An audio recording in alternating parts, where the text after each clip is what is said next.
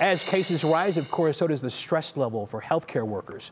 Tiffany Tarpley has the story of an Ohio physician dealing while doing her job. The days are long, the work nonstop. You know, a lot of our physicians are working around the clock and our, you know, nurses are doing back to back to back 12 hour shifts to cover the patients because there's just so many patients and we have a shortage of healthcare providers right now. Situations like these playing out in hospitals across the country and right here in Ohio.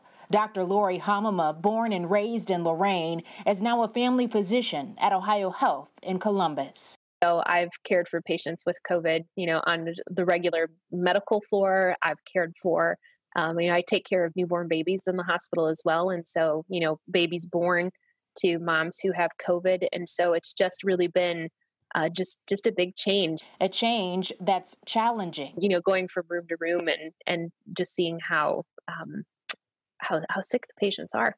Mm-hmm. It's really hard. Not only is Dr. Hamama working to take care of patients, but as the director of well-being, she's also making sure her healthcare colleagues have outlets for emotional support, mental health, and overall wellness. You know, as a healthcare provider, our first, we all took an oath to do no harm.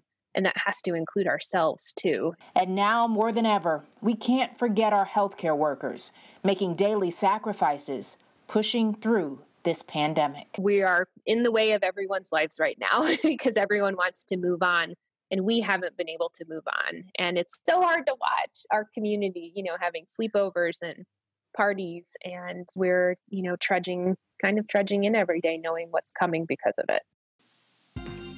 Dr. Hamama and I attended the same high school, and I reached out to her after reading one of her most recent Facebook posts. She talked about her own self care during this time and also urged her followers to stay home, wear masks, get takeout, and stop the parties and gatherings. In Rush, she also called the disinformation and conspiracy theories madness. Wow, much respect to her. I want to give folks in perspective. Earlier, we gave those city numbers 314 for today. That is by far a record in the city of Cleveland. Tiffany Tarpley, thank you.